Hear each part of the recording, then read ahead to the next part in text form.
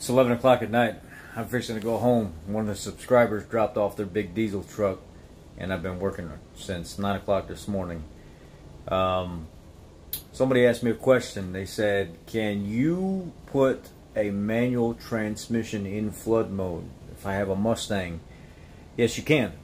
And what flood mode is, is basically you hold the accelerator pedal all the way to the floor before you start it. You push the clutch in also, and you pull your emergency brake, and then you reach over there and you crank the vehicle.